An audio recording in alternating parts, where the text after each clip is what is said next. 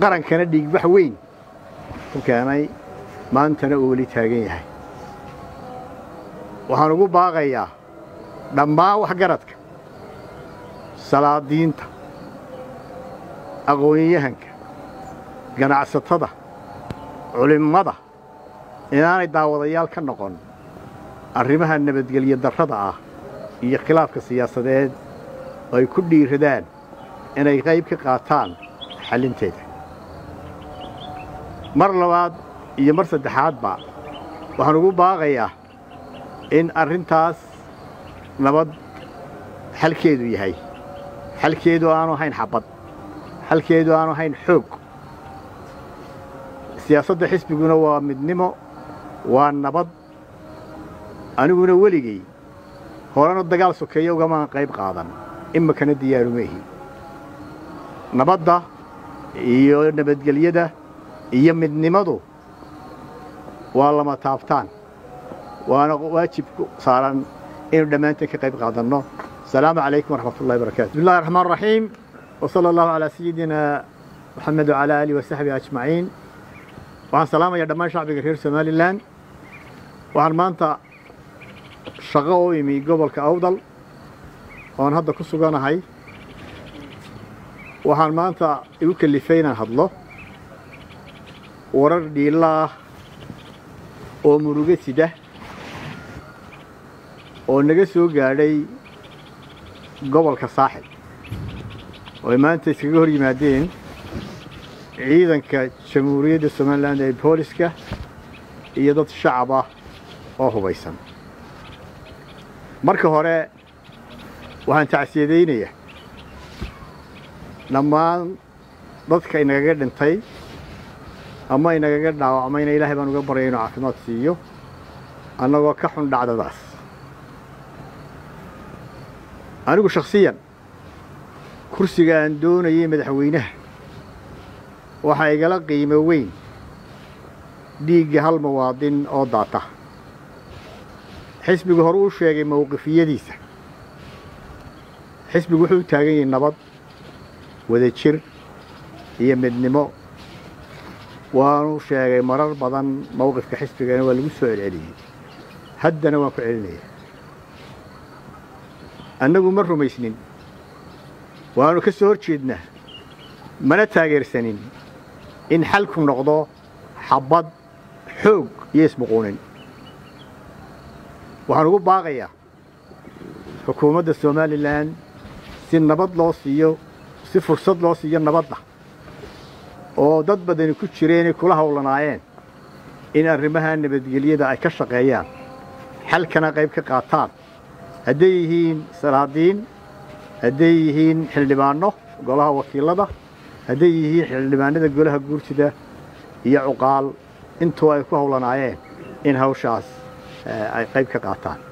Waxaan ugu baaqayaa in madaxweynuhuna ciidankiisa ka qaado shacbigaa hubaysanna waxaan ugu baaqayaa inay qoryaha dhulka dhigaan uma baahnin mar dambe inuu qof inagaga dhinto shaqaaqooyinkaas maanta waa koob iyo tobankii ogs sannadkii hore maalintaasoo kale waxaa ka dhacay dalka jamhuuriyadda somalilan soo baxyo nabadeed oo ay ku dhinteen dad shacaba oon hubaysnayn oo ciidanka boolisku laayey waxaan qabaa dhacdadaa in laga baaqsan karayey ta maanta dhacdayna in laga baaqsan karayey baan qabaa.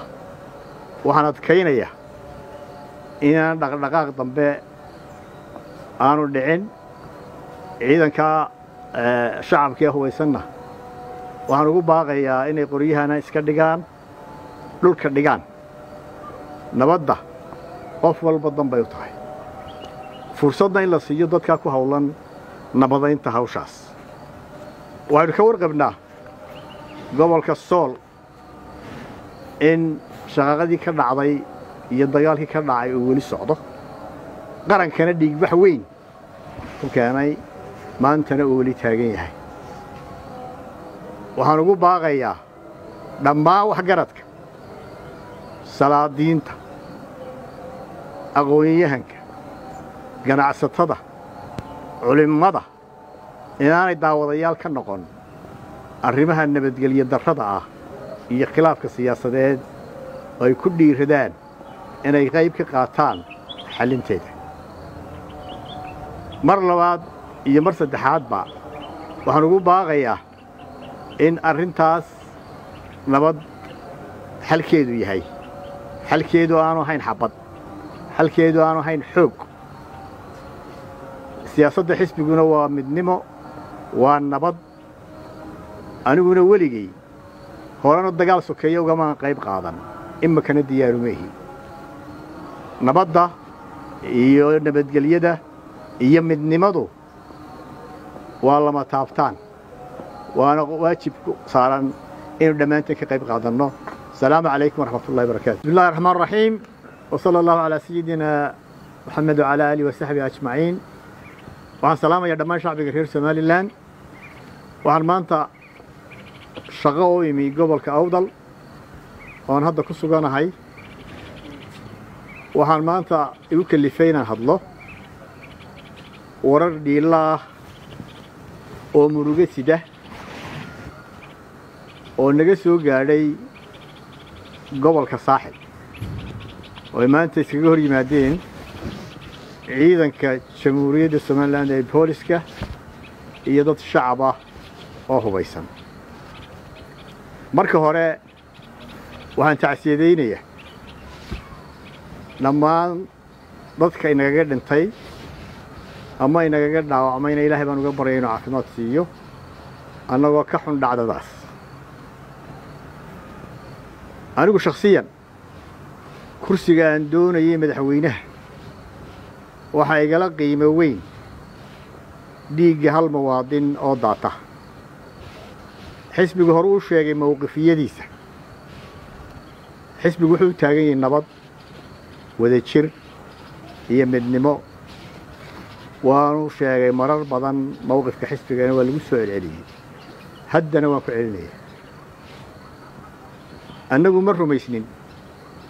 Waanu ka soo hor jeednaa mana taageersanin in xalku noqdo xabbad xoog iyo ismuquunin waxaan ugu baaqayaa xukuumadda somalilan si nabad loo siiyo si fursad loo siiyo nabadda oo dad badani ku jireenay kula howlanaayeen in arrimaha nabadgelyada ay ka shaqeeyaan xalkana qayb ka qaataan hadday yihiin salaadiin hadday yihiin xildhibaanno golaha wakiilada hadday yihiin xildhibaanada golaha guurtida iyo cuqaal intuu ay ku howlanaayeen in hawshaas ay qayb ka qaataan. Waxaan ugu baaqayaa in madaxweynuhuna ciidankiisa ka qaado. Shacbigaa hubaysanna waxaan ugu baaqayaa inay qoryaha dhulka dhigaan. Uma baahnin mar dambe inuu qof inagaga dhinto shaqaaqooyinkaas. Maanta waa koob iyo tobankii ogs sannadkii hore maalintaasoo kale waxaa ka dhacay dalka jamhuuriyadda somalilan isu soo baxyo nabadeed oo ay ku dhinteen dad shacaba oon hubaysnayn oo ciidanka boolisku laayey waxaan qabaa dhacdadaa in laga baaqsan karayay ta maanta dhacdayna in laga baaqsan karayay baan qabaa waxaan adkaynayaa inaan dhaqdhaqaaq dambe aanu dhicin ciidankaa shacabkee hubaysanna. Waxaan ugu baaqayaa inay qoryahana iska dhigaan dhulka dhigaan. Nabadda qof walba danbay u tahay. Fursadna in la siiyo dadkaa ku howlan nabadaynta hawshaas. Waxaynu ka warqabnaa gobolka sool in shaqaaqadii ka dhacday iyo dagaalkii ka dhacay uu weli socdo qarankana dhiigbax weyn ku keenay maantana uu weli taagan yahay. Waxaan ugu baaqayaa dhammaan waxgaradka salaadiinta aqoonyahanka ganacsatada culimmada inaanay daawadayaal ka noqon